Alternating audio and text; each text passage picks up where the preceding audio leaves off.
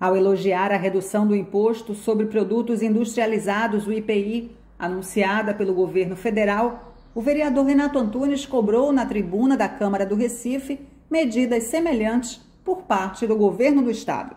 Essa redução de imposto, de certa forma, ela traz benefícios, sobretudo no momento de crise que a gente está vivendo. O governo federal abrir mão de recursos com a redução do IPI, deixa de arrecadar 20 bilhões. E para muita gente, vereador Paulo Muniz, dinheiro é importante porque dinheiro gera serviço.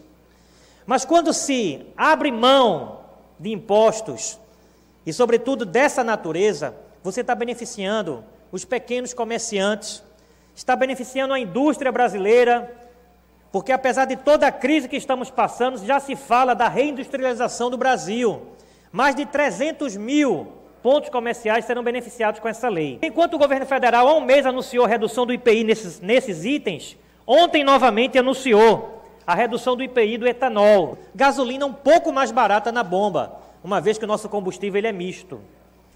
Mas também anunciou redução do IPI em seis alimentos que sofrem por esse processo de industrialização, como o óleo de soja, o café moído, a margarina.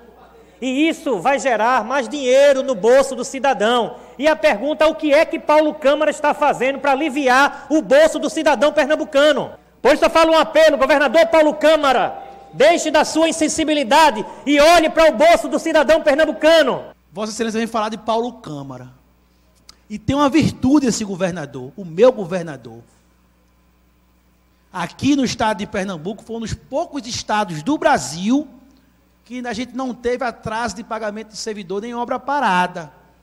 O programa Retomada, que está mostrando aí a sua cara, tem beneficiado milhões e centenas de empresários e trabalhadores.